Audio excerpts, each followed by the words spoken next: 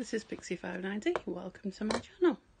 This is going to be my first proper video. Um, today I'm going to talk to you about diamond painting and show you the one that I'm currently about to set up. Now, for any of you that don't know what a diamond painting is, a diamond painting is, I say, a little bit like paint by numbers. It's for those of us, me, who are not very good at drawing, who like to do pictures. Um, I'll show you one that I've recently finished. Finished this one earlier today. This is Groot. He's my favourite character. Uh, this kit was bought to me by my lovely Smurfy, John. And as you see, it's all individual little diamonds put on a canvas. A canvas normally comes in two different ways. It can come in a box or it can come folded up in a white cover and you open it up and this is what you get inside. And I will show you what you get in a minute. You can get two different types of diamonds. They're squares or they're round. So I believe that this one is a round. So let's get in see what we've got in the package. Right, so let's get into the parcel and I'll show you what we've got. Like I say, they always come rolled up like that. And when you open them up, you always you always get a little kit. In this one, there's a green boat, some wax, and a single place of pen. And there we have our diamonds. Let's see what. Now this is a picture that I got off of Amazon. It's that way, I believe. Uh, I'll just roll it the other way which helps to straighten some of those lines out. Now you can get on some of your parcels little rivers and problems but from the look of this one I'd say that there aren't any and if you pull back the plastic and then blow it out flat it helps if you do it slowly, don't keep stuffing it up.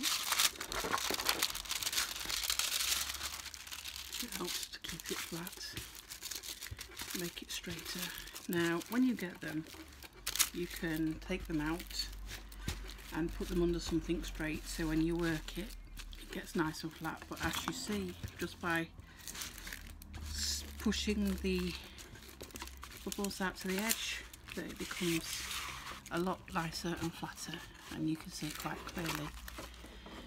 Um, this is a nice one, there are legends on both sides.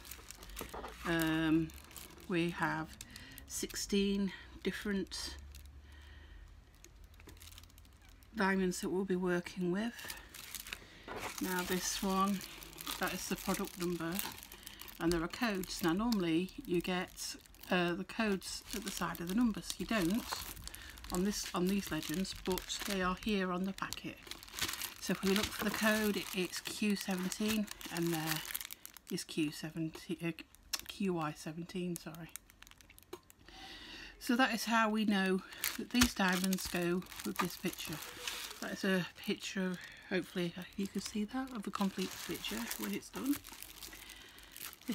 So we'll take a minute and we'll just straighten out this bit at the top I did the bottom but I didn't do the top. Bear with me, this is my first ever video doing this so I'm a bit nervous.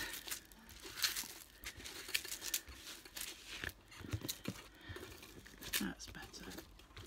It just helps it lay more flat and you make sure that there are no imperfections then on your canvas. It does feel like a not a bad canvas. Um, there is normally a code that you can get which is on your which is on your diamonds or bills as they're otherwise known as. These are mine. We'll open them up quickly. Uh, I say quickly. Just to make sure that we've got them all. Now there was no inventory with this, which is unfortunate. Let's have a look at what we've got. Uh, number one. It looks like it's very clear and that there aren't any bits. And two. Number three is 310, which would be uh, black. I, I say black. Number four, number five, number six, seven. Ooh, not really that colour. Number eight, nine, ten, eleven, twelve, thirteen. Oh, another one was not on it. 14, 15 and 16. So there are all our colours. We've definitely got them all. And if we needed to find out, you could get the codes and find out what all the colours are. Um, looking at this one, there are a few bits in there that look like they shouldn't be. Some some drills that have escaped. Oh, that was one that didn't make it. And some that's rubbish. Uh, some little brown bits if you see, look, it's just that shouldn't be in there. But on the whole, I'd say they're very good and normally when you get these kits they give you more drills than you need and if you've got previous kits that are the same num numbers you can get any extra needed colours from there. There, we'll just put those to the side. Now let's look at the drill quality. Um, it does look rather dark. I don't know if you can see that. Um, yeah, I think this one might be slightly interesting. It's going to be slightly challenging. Luckily, I do have a light board that I can do it on. Uh, the next step after this, for me, because this is the one that I'm going to do now, is to uh, empty all the drills out into this little container. Um, I might make a video of showing you that how to do that, um, but it won't be on this one.